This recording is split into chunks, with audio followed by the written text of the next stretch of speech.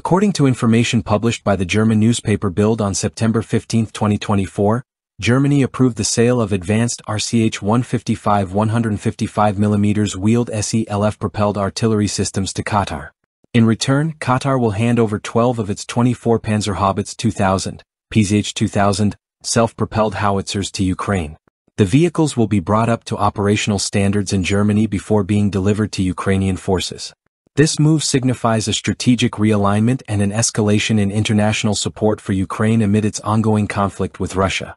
Qatar's acquisition of the RCH-155 artillery systems allows it to modernize its artillery capabilities with cutting-edge technology. Simultaneously, the transfer of PZH-2000 tracked self-propelled howitzers to Ukraine is expected to substantially enhance Ukraine's artillery strength due to the system's advanced features, such as high rate of fire, precision targeting, and long-range capabilities.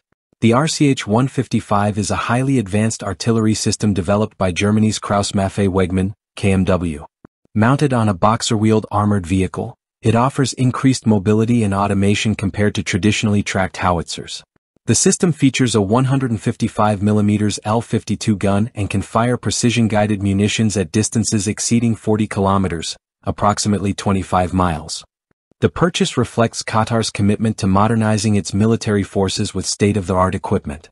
The deal also strengthens defense ties between Qatar and Germany, potentially paving the way for future military technology and training collaborations. Before the Panzerhaubitze 2000 howitzers are handed over to Ukraine, they will undergo a comprehensive upgrade process in Germany. This refurbishment is expected to include technical overhauls, software updates, and modifications to meet the Ukrainian military's specific requirements.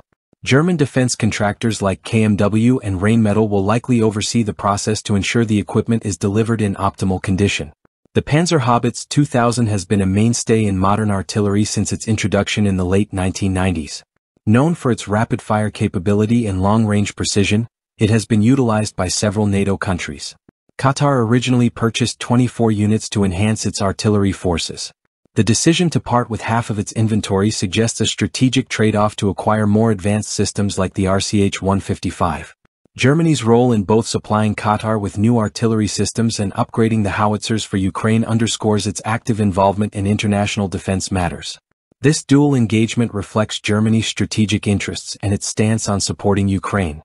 Qatar has generally maintained a neutral stance regarding the conflict between Ukraine and Russia, often advocating for diplomatic solutions and peaceful dialogue. Qatar's foreign policy traditionally emphasizes mediation and conflict resolution. The nation has engaged in various diplomatic efforts in the Middle East and beyond but has not publicly aligned itself militarily in the Ukraine-Russia conflict. Any significant shift in Qatar's stance, especially involving military support, would likely be accompanied by official statements and widespread media coverage. If confirmed, Qatar's decision to purchase RCH-155 artillery systems and supply Ukraine with half of its PZH-2000 howitzers represents a noteworthy development in international efforts to support Ukraine. The move not only aids Ukraine's military capabilities but also reflects the complex web of global alliances and defense strategies influencing the region's security landscape.